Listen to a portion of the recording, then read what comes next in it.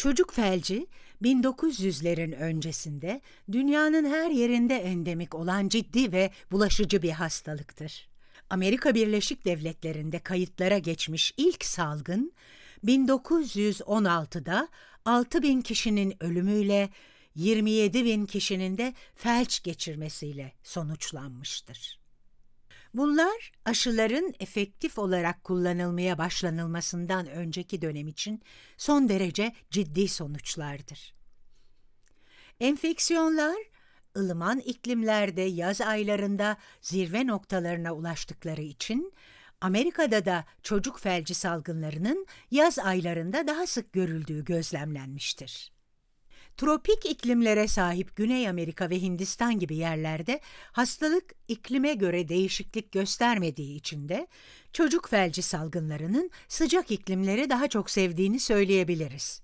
Bunun sebebi polio virüsünün sıcak ortamlarda daha çabuk çoğalabilmesi ve sıcak aylarda temizlik hizmetlerinin kaliteli olmadığı yerlerde pis su tüketiminin artması sebebiyle hastalığın daha hızlı yayılmasıdır. Çocuk felci 5 yaşın altındaki çocuklar ve bebekler üzerinde daha etkilidir. Sıcak yaz aylarında çocukların havuzlara gireceği düşünüldüğünde hastalığın daha çok bireye bulaşması son derece normaldir. Virüs genellikle dışkı kaynaklı olup ağız yoluyla vücuda girerek bulaşır. Temizliğin iyi olmadığı yerlerde kişisel temizlik konusunda çok iyi olmayan çocuklar tuvalete gittiklerinde hastalığın bulaşmasında büyük bir rol oynayabilirler. Bunlara ek olarak hastalığın ağızdan ağza bulaşması da mümkündür. Bu hastalığın çok bulaşıcı olduğunun bir kere daha altını çizmek istiyorum. Hatta hastalığa yakalanan çocuklar virüsü belirti göstermeden 7-10 gün gibi bir süre taşıdıkları için toplamda 6 hafta boyunca hastalığı başkalarına bulaştırabilirler. Tüm bunlara rağmen hastalığa yakalananların %90'ıyla %95'inin hiçbir belirti göstermediğini de eklemeliyim. Belirti göstermemelerine rağmen hastalığı bulaştırabiliyor olmaları, yani enfekte olmuş birinin enfekte olduğunu bilmeden hastalığı bulaştırabilmesi, polio virüsünü dünya üzerinden tamamen silmeyi zorlaştırmaktadır. Bu durum virüsün izini sürmek açısından da daha zordur.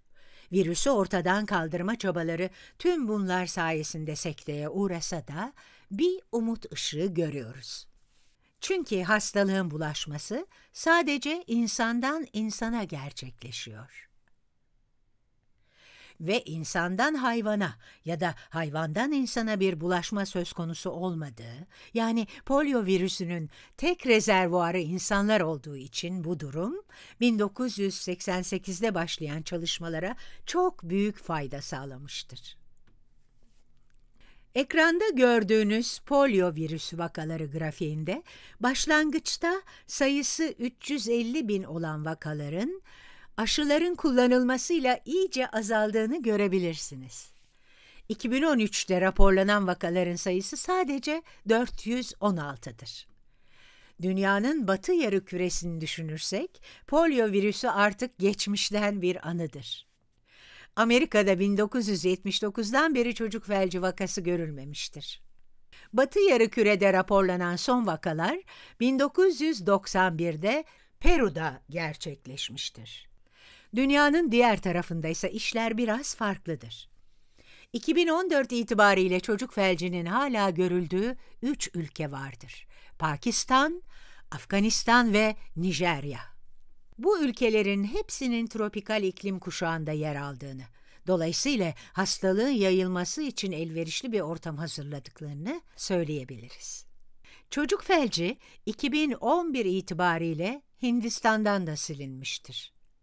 Aşıların tüm dünyada efektif bir biçimde kullanılmasıyla elde edilen bu başarının yanında durumun hala aciliyetini koruduğunu hatırlatmalıyım. Modern teknoloji ve insanların bir noktadan başka bir noktaya kolaylıkla uçabilmeleri sebebiyle bu hala tüm insanlık için büyük bir endişe kaynağı ve tehdittir. Dünya Sağlık Örgütü'nün aşılamaya ağırlık verip çocuk felci vakalarını gözlem altına alarak virüsü tamamen ortadan kaldırmayı amaçladığı stratejik bir plan vardır. Temizlik hizmetlerinin iyileştirilmesi polio virüsüyle mücadelede çok önemli bir silahtır. Bu çabaların ve planlanan aksiyonların yanında ne yazık ki aşılması gereken bir sürü de engelimiz var.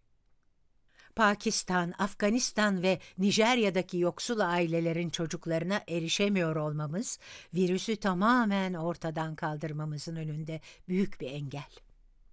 Birden fazla kurum ve kuruluşun da katkılarıyla polio virüsünü tamamen ortadan kaldırmak ve bir anı olarak kalmasını sağlamak ortak hedefimiz. Hoşçakalın.